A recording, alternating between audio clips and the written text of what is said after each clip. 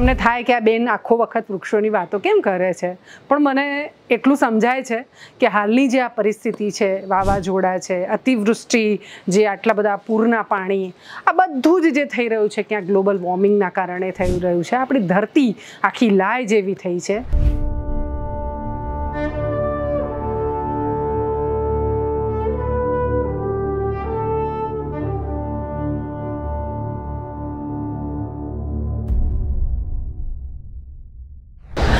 આ વખતના ચોમાસાએ આપણને આમ તોબા પોકારી દીધી. પૂર, ક્યાંક અને ભયંકર મુશ્કેલીઓ પણ સર્જાઈ. એ બધાને નાથવાનું કોઈ કામ ભવિષ્યમાં કરી શકે એ પ્રકારનું આપણને લાગે તો એ છે વૃક્ષો. આપણા દેશની વન નીતિ જે છે એ પ્રમાણે તેત્રીસ ટકા જંગલો દેશમાં હોવા જોઈએ. પણ ખરા અર્થમાં તમે આંકડાને જુઓ તો લગભગ ચોવીસ ટકા જેટલો, ચોવીસ પોઈન્ટ બાસઠ ટકા જેટલા જંગલો હોવાનું કહેવામાં આવે છે. પણ પર્યાવરણવિદો અને કેટલાક જાણકારો એવું કહે છે કે એટલા પણ નથી. ચૌદથી પંદર ટકા જંગલો જ આપણા દેશમાં છે. એમાંય હરિયાણા એવું રાજ્ય છે કે જ્યાં માત્ર ત્રણ પોઈન્ટ પાંચ ટકા જ જંગલો બચ્યા છે. આમાં આંકડા બહુ મજાના છે, દુઃખદ પણ ખરા જ એમ. પણ હું વાંચતી હતી કે આપણે નાના હતા ત્યારથી સાંભળીએ કે ઓક્સિજન આપણને વૃક્ષો આપે છે અને આપણે આપણા શ્વાસમાં લઈએ. તમને ખબર છે કે એક દિવસમાં આપણે કેટલી વખત શ્વાસ લઈએ છીએ? ઓક્સિજન લેવા માટે. તો લગભગ એ ગણતરી પ્રમાણે એકવીસ હજાર છસો વખત આપણે શ્વાસ લઈએ છીએ. અને એક મિનિટમાં આપણે જે હવા લઈએ છીએ, લગભગ આઠ લીટર જેટલી હવા એક મિનિટમાં આપણે શ્વાસમાં લઈએ છીએ. આમ જબરદસ્ત આપણે ગણતાય નહીં હોય કે એકવીસ હજાર છસો શ્વાસ દિવસના થાય છે કે કેમ. પણ હા, થાય છે. આ શ્વાસ આપવા, શ્વાસમાં લેવાતા ઓક્સિજન, આ બધું જ આપવાનું કામ વૃક્ષો મહત્તમ પ્રમાણમાં આપણને કરે છે.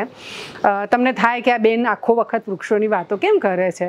પણ મને એટલું સમજાય છે કે હાલની જે આ પરિસ્થિતિ છે, વાવાઝોડા છે, અતિવૃષ્ટિ, જે આટલા બધા પૂરના પાણી, આ બધું જ જે થઈ રહ્યું છે ક્યાં ગ્લોબલ વોર્મિંગના કારણે થઈ રહ્યું છે, આપણી ધરતી આખી લાય જેવી થઈ છે.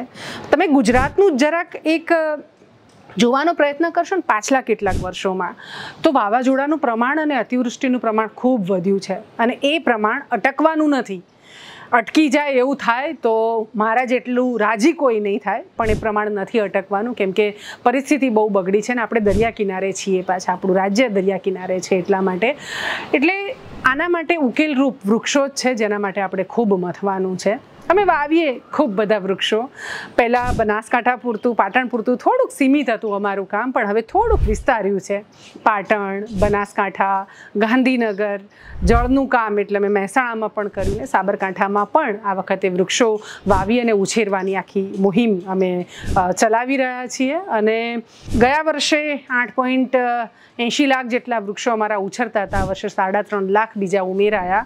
એટલે મારા ખ્યાલથી સાડા બાર લાખ કરતાં પણ વધારેનો આંકડો અમે ક્રોસ કરી શક્યા ને એટલા વૃક્ષો અત્યારે અમારા સરસ ઉછરી રહ્યા છે.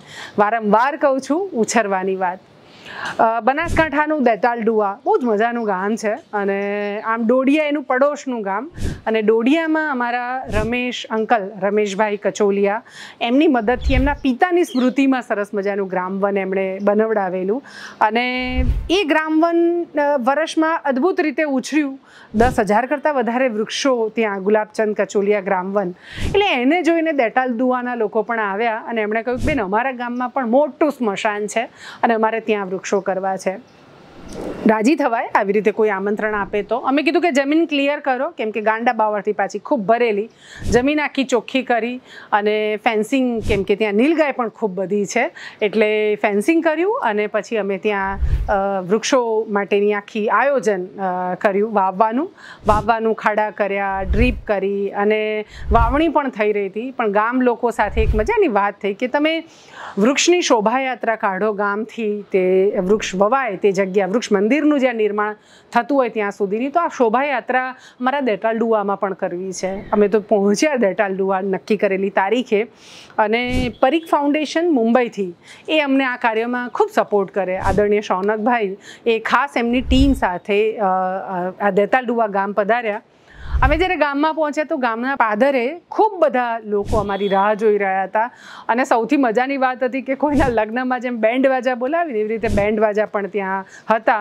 અને પછી બેન્ડ વાજા સાથે દીકરીઓ નાની સ્કૂલમાં જઈ શકે એવી પેલા ઘડા ઉપાડે. આપણે નાના હતા ત્યારે સ્કૂલમાં મેં પણ ઉપાડેલા છે. મારી પ્રાથમિક શાળામાં કોઈ મહેમાન આવે ને ત્યારે એ ઘડા ઉપાડવાનું એક સુંદર એક શોભા જેટલું હતું મર્યાદિત એમાંથી પણ રૂપાળું થાય એવું દરેક વ્યક્તિ પ્રયત્ન કરે. હજી પણ ગામડાઓમાં એ ઘડા ઉપાડવાની પરંપરા છે. એટલે દીકરીઓ ઘડા ઉપાડીને અમારું સ્વાગત કર્યું કંકુ ચાંદલાથી પહેલું એવું, એવો પ્રસંગ હશે, ગામ લોકોએ પણ કહ્યું કે જેમાં નાચતા ગાજતા સ્મશાને આવી રીતે અમે પહોંચ્યા એમ. બહેનો, બાળકો સામાન્ય રીતે એમનું સ્મશાનમાં જવાનું તો કોઈ દિવસ ન થાય, પણ એ લોકો પણ ત્યાં મોટી સંખ્યામાં પહોંચ્યા અને પછી વૃક્ષદેવની પૂજન કરી અને અમે વૃક્ષોનું ત્યાં સ્થાપન કર્યું. ગામ લોકોએ શું કીધું? એની વાત સાંભળવા જેવી છે. તમે પણ સાંભળો. આપણે જે ગુજરાતની અંદર પાણીના તળમોડા જઈ રહ્યા છે તે માટે વૃક્ષારોપણનો કાર્યક્રમ કર્યો છે. એ સંસ્થાનું નામ છે વીએસએસએમ અને તેમને અમારે શમશાન ભૂમિમાં અત્યારે ગુરુ પૂર્ણિમાના દિવસે ડીજે સાથે આપણે રેલી કરી અને ત્યાં દેતાલ ડુઆથી ગૌશાળા અને ત્યાંથી શમશાન ભૂમિ સુધી આવેલ છીએ અને ત્યાં સાથે મિત્તલબેન પણ સાથે આવ્યા છે અને અમારે દસ હજાર વૃક્ષો, વૃક્ષોનું રોપણ કર્યું છે. શમશાનમાં તો શમશાન યાત્રા આવે, પણ અત્યારે એવા મારા દેતાલના ભાગ્ય ખુલ્યા છે. તે ત્યારે જે વૃક્ષો આવી અને શોભાયાત્રા કરી છે, ડીજે સાથે અને ઘણા બધા માણસો સાથે આવ્યા છે અને ઘણા આનંદથી ત્યાં ઉત્સવ, વૃક્ષરોપણનો ઉત્સવ કરેલો છે અને દસ હજાર વૃક્ષ રોપેલ છે. તેનાથી ઘણો ઘણો ફાયદો થશે. આ સંસ્થાનો ખૂબ ખૂબ જય જયકાર.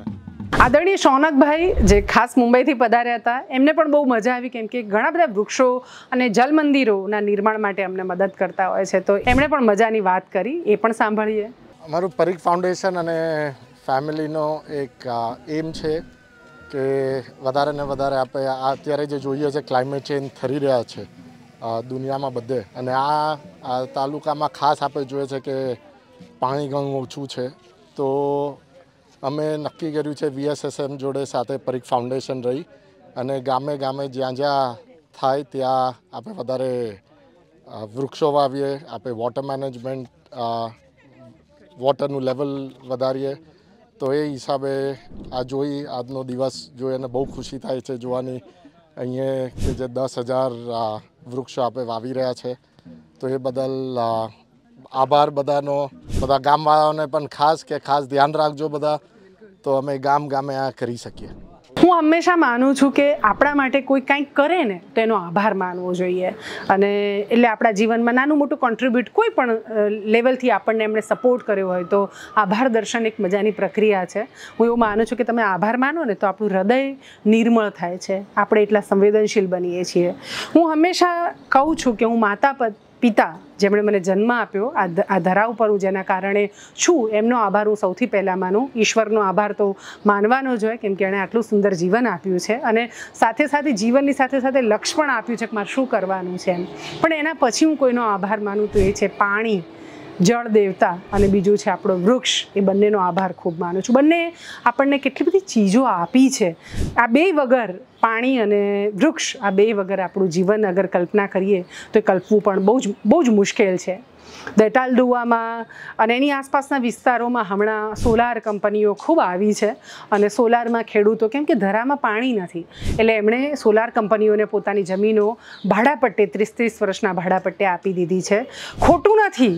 એમને રોજી નથી મળી રહી, પાણી નથી એટલે ક્યાંક એ જમીનો આપી રહ્યા છે. પણ તમને ખબર છે કે સોલારના આખા પ્લાન્ટ બને એટલે એક વીઘામાં કરે પછી પાંચ વીઘા છોડે પછી બીજા વીઘામાં એવું નથી હોતું. એ સળંગ હજારો વીઘામાં એ સોલાર પ્લાન્ટ લાગતા હોય છે અને એ એમાં વૃક્ષ જો વચ્ચે ઊભા હોય તો એની છાયા પડે તો ગરમી, એટલે કેમ કે એને સોલાર પેનલ ઉપર સૂર્યનો પ્રકાશ પડે એ બહુ જરૂરી છે એટલે. તો એના એ પ્રકાશ પ્રોપર પડે એ માટે થઈને લોકો વૃક્ષો બધા જ કાપી નાખતા હોય છે. એટલે માની લો કે હમણાં હું ધાનેરા ગઈ તો લગભગ ત્યાંના ખેડૂતોએ કીધું કે દસ હજાર કરતાં વધારે વીઘામાં સોલારનું સોલાર લગાડવામાં આવી છે. આમ તો પ્લાન્ટેશન સોલારનું થયું છે એવું પણ કહી શકું. અને ત્યાં બધે વૃક્ષો સદંતર નીકળી ગયા છે. અને વૃક્ષો નીકળશે તો ગરમીનું પ્રમાણ ઓર વધવાનું છે. વરસાદ આવવામાં આમ દરિયા કિનારાનો વિસ્તાર છે ત્યાં ખૂબ પડવાનો છે. આ વખતે આપણે જે જોયું એ પ્રમાણે પણ બનાસકાંઠાને બધા હજી પાછા રણ તરફના વિસ્તારો છે. ગરમી ઓર વધે, વધી જ રહી છે. અને વરસાદ પણ પ્રમાણ ઓછું, તો આ વૃક્ષો વાવશું, તો આ બધું પ્રમાણ સરખું થવાનું છે.